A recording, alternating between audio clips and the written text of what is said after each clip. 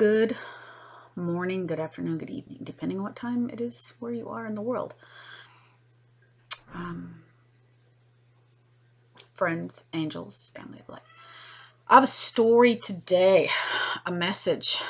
And I actually took notes. I don't usually have notes that I go off of when I make my videos, but I'm going to refer to some today so I don't miss some things.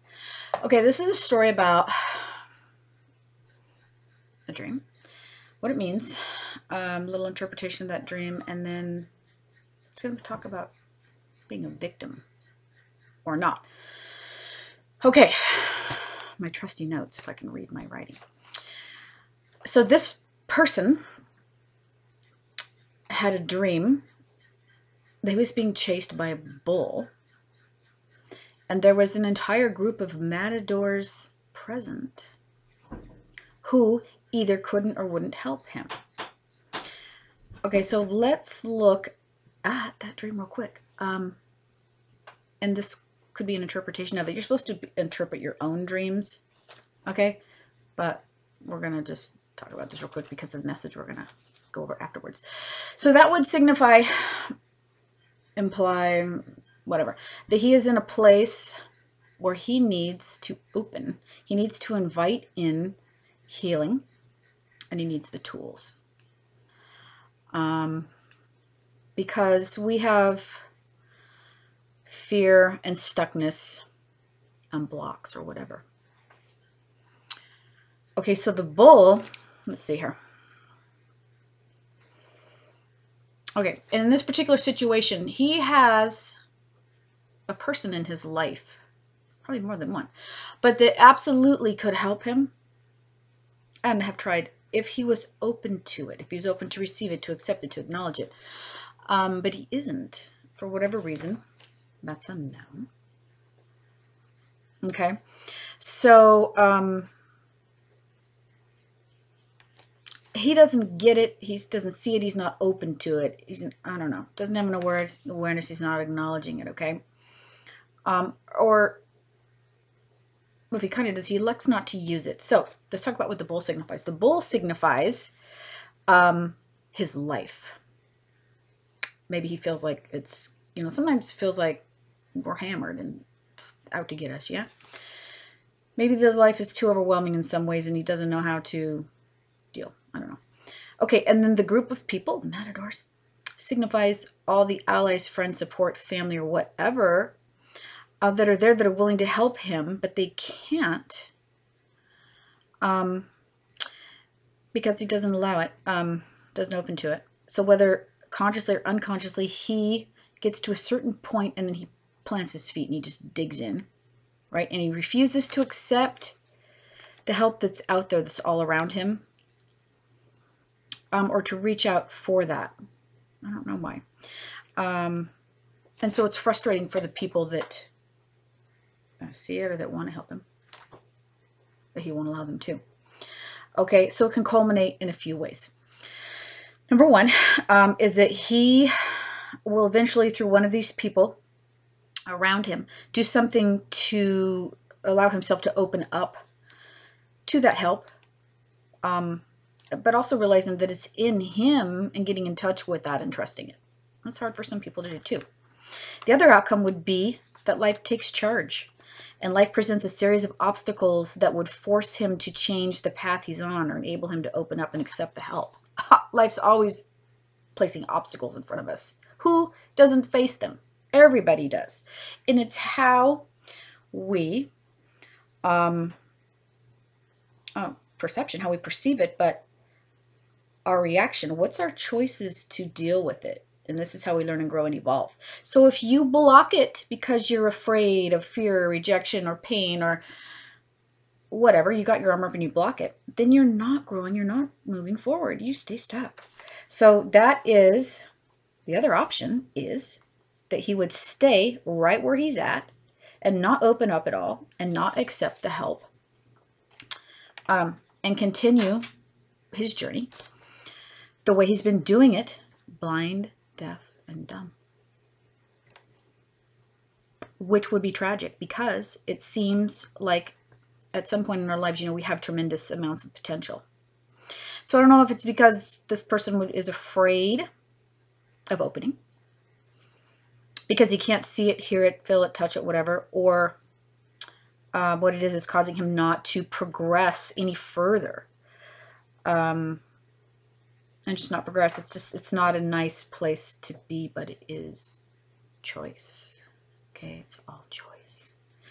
Um, okay, so talking about the fear of failure, um, sometimes it's easier not to move forward. This is going into what the victim thing is. Um, and to not take a chance and potentially fail. But failure isn't even failure. Failure is learning. We learn from all of that. So look at it in a different perspective, right? Not in a negative perspective. Not let it keep you stuck. So maybe um, he feels that if he takes a chance, he might lose something again um, and can't handle that pain. I don't know, that's a guess. failures are supposed failures, if that's the way you perceive it in life. Uh, that's tough because life presents obstacles to all. And I don't know if um, this particular person understands why there are obstacles. Okay? And why he or anybody I'm just using this as an example for a story. Why anybody thinks that they're a victim, okay? So if you, if a person won't step out and take action, um, there are so many ways or times that a person won't speak up for himself or anybody else or take action, and it's sad. Um, and like I said, when their partner or friends try to help them and, and they can't, it's frustrating for everyone. Okay, so okay, here's the victim thing. That was leading up to this. People often perceive themselves to be a victim, okay? If you are going to be a victim, you will never progress past the point of wallowing in self-pity, low self-esteem, and depression. Um, it's not a very good place to be. Things happen in life to people, okay? birth, death, divorce. It's how you perceive it. Um, and that goes back to the individual and the strength of their will. And um, they either open up, they can either open up and let the wound bleed and let the pain out and hopefully find a way to handle that um, so that they can at least stop bleeding. Okay, so they can move forward. Or they can just continue to be a victim and not move forward and just stay there um, and wallow. And that's just not a good place to be because the outcome for that is never good at all. And being the victim, adopting that role, again, this is a choice, puts you in a place where you don't have to move forward and it's an excuse. It's stuck here. Um, it's a weakness because um, it's more comforting or comfortable to sit in one spot and have people console you or whatever. Um, but also find other codependent people who like they want to sit there and blame everything and everyone else for their problem. Then they don't have to take responsibility for it. Okay, other hurt people um, that, that are satisfied with not moving on because of fear of failure or fear of rejection or whatever. No one can fix this but the individual who's in the midst of this muck in this quagmire. Okay, no one can't Their loved ones can't do it for them. They can open up and ask for the help, but that has to come from them. And they can't do it for anybody else but themselves. And so hopefully they try, um, this will bring um, an awareness and help that they need and that they deserve.